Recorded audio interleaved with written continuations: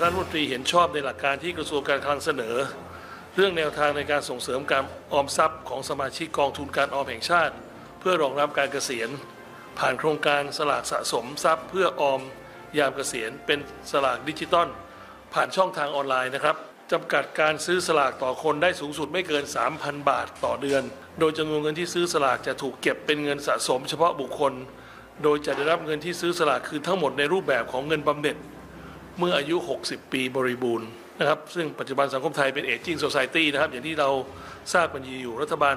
ต้องใช้งบประมาณในการดูแลผู้สูงอายุเป็นจำนวนมาก โดยโครงการนี้จะเกิดประโยชน์ในการส่งเสริมให้เกิดการออม ซึ่งรัฐบาลสร้างแรงจูงใจในรูปแบบเงินรางวัล และทำให้รัฐสามารถลดงบประมาณในการดูแลกลุ่มเปราะบาง เฉพาะนี้นะครับ